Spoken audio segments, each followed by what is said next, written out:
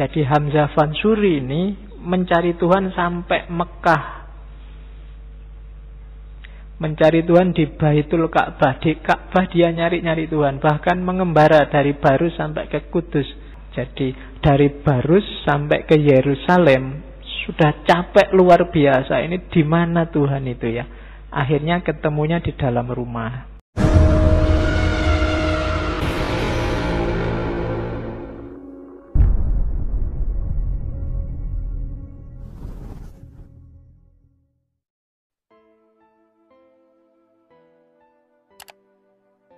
Baitnya yang paling terkenal Hamzah Fansuri di dalam Mekah mencapai Tuhan di Baitul Ka'bah.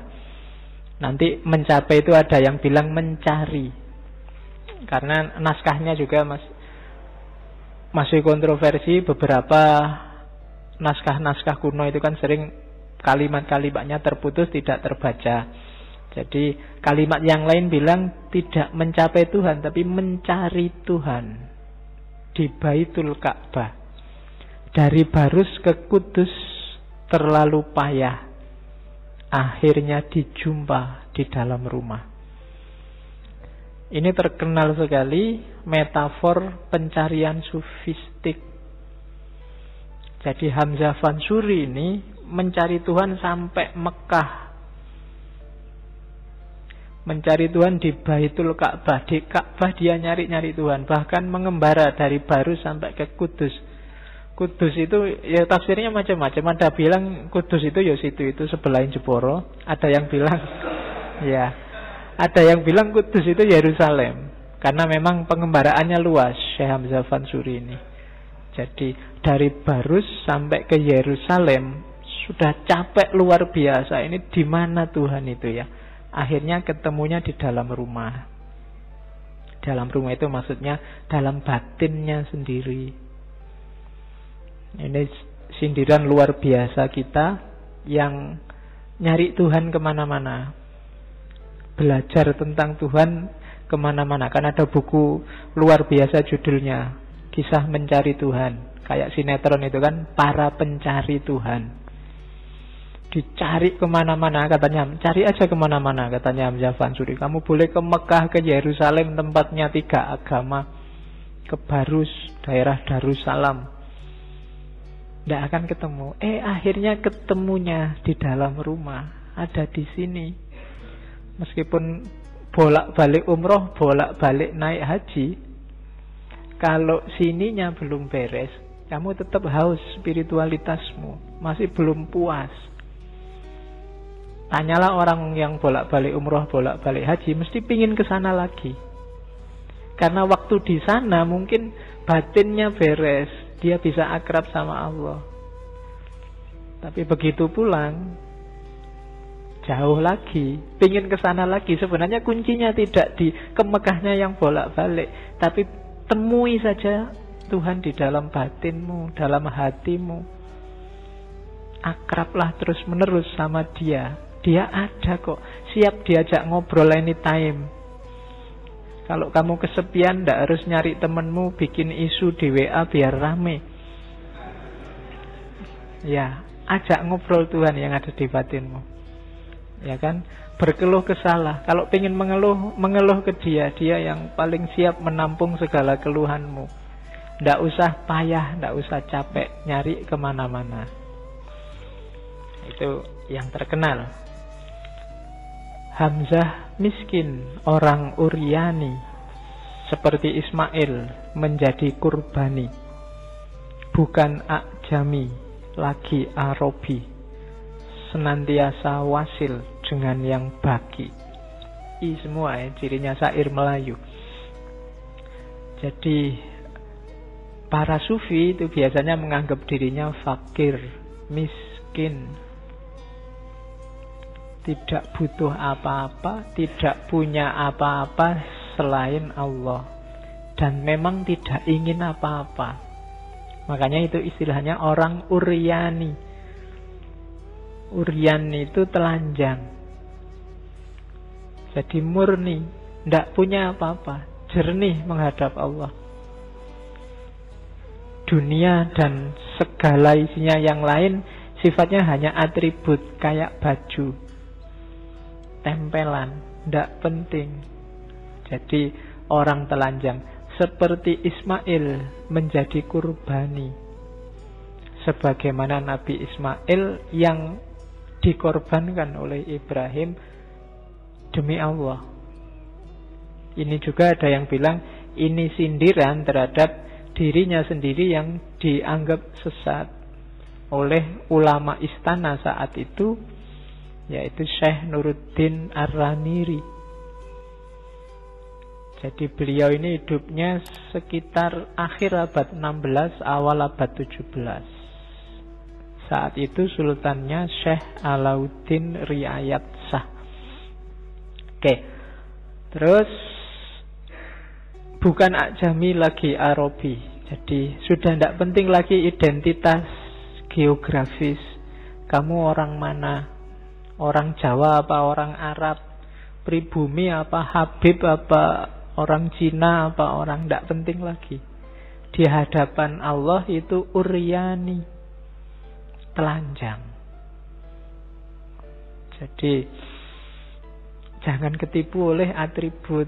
Kamu orang Indonesia apa orang bule apa orang Tiongkok, Cina yang kamu benci itu hari ini apa orang Madura, apa orang mana itu tidak penting semua. Kita di hadapan Tuhan Urian. Tujuannya apa terakhir? Senantiasa wasil dengan yang bagi. Kalau kamu sudah urian, kamu bisa terus nyambung sama Allah. Allahu somad. Hanya Allah tempat bergantung yang diinginkan. Tidak ada yang lain. Jadi bukan jami lagi arobi, senantiasa wasil dengan yang bagi.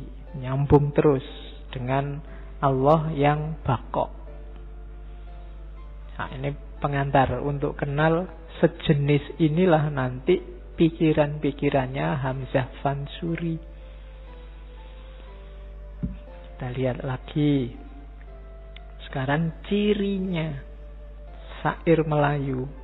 Ini aliran baru zaman itu.